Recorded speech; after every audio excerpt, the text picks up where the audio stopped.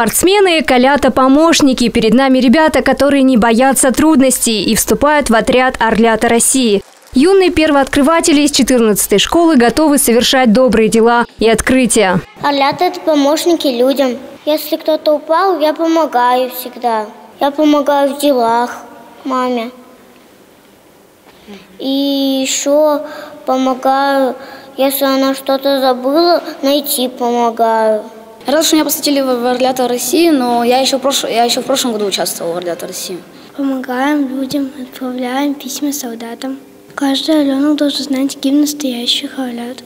И правда, ребята гордо исполнили гимн «Орлят» и получили в подарок от компании «Уралкали» яркую форму. И теперь будут с гордостью носить пилотки и галстуки.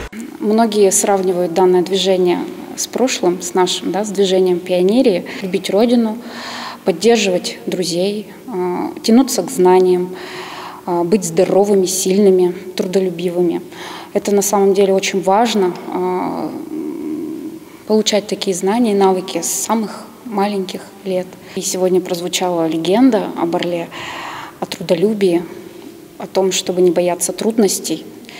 Ведь все мы рано или поздно вот сталкиваемся с какими-то проблемами, и очень важно ребенку донести, что ничего, не бойся, мы рядом, и ты справишься.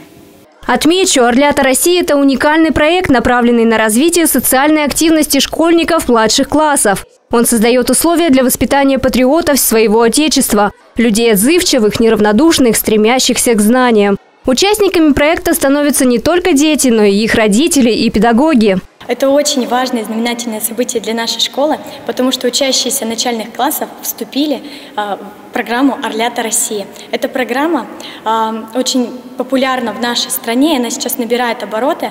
Ребята проходят различные треки, а, после которых они получают интересные знания. В нашей школе с сентября месяца уже прошли акция «Письмо солдату», «Талисманы добра», и мы с ребятами проводили экологические акции. Один за всех и все за одного. С таким девизом юные орлята и полетят к вершинам знаний, творческим экспериментам и спортивным победам. Евгения Лосева, Владимир Покровский. Наши новости.